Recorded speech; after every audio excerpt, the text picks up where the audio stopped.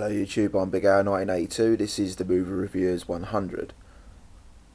The collaboration channel here on YouTube that brings you themes each week. And this is my first video for 2014. Welcome you all to the channel to 2014. Apologise for my absence last week. Um, bit of a confusion of what week we were starting back and uh, unfortunately I missed the uh, Peter O'Toole week, uh, the tribute week.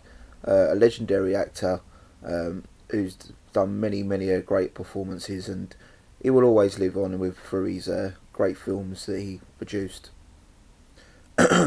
this week's theme is uh, Jake Gyllenhaal, uh, a current actor of this generation who I think gives great performances all over, from comedy roles to dramatic to action. I think he has it all, and I think he, he's definitely going to be a, a star for the ages, and I think there's just more great films to come from Jake Gyllenhaal.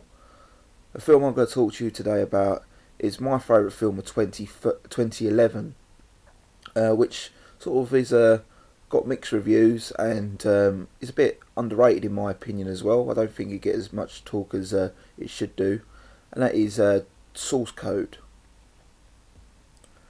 The basic uh, feel of this uh, Source Code is it's a mystery thriller, sci-fi action film, which is sort of got a the feel of a couple of films, in my opinion. Uh, the facts of um, the speed element of there's a bomb and it has to be uh, has to be stopped before it explodes. Uh, but this time it's on a train and not on the bus.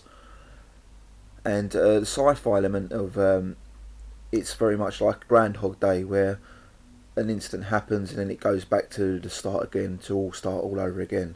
It's got really great action scenes throughout this film and a great sci-fi element and I believe uh, Jake Gyllenhaal gives a great performance as the leading character in this film. So you're introduced to Jake Gyllenhaal character who's a soldier and he's on this mission to stop this bomb, but all is not that meets the eye and uh, there's a very uh, lot of science fiction elements to this film which is a bit hard to describe without uh, spoiling the story. But as I say, this the great sci-fi element of the sort of grand Groundhog Day effect um, really captures you in, and there's, there's not all that meets the eye to this film and uh, storyline as well.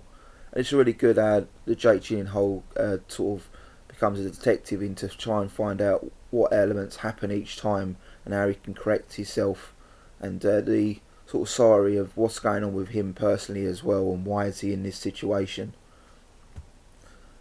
As I said, I feel this is a very underrated film, and I do recommend people checking this one out because I believe people, not a lot of people, got to saw this film in 2011. As I said, this was my favourite film of 2011, and it's just one of them films I could watch any day. It just really captures you in with a story and a great performance from the characters. Also in this film is uh, Michelle Monaghan and Verna Farmiga. I can't I pronounce that right. It's uh, V E R A uh, F A R M I G A, uh, which recently been in The Conjuring and they just do give two great performances as well. Um, Michelle Monaghan being a love interest to uh, Jake Gyllenhaal's character, and uh, Vera uh, uh, being the person who he has to take orders from. Uh, it's, I say, a really great film, and um, it's definitely worth a watch. Uh, apologise for the short review and my voice this week. I'm not feeling the best today, and um, I just wanted to get this video out to uh, spread the love about source code as I feel so highly about this film.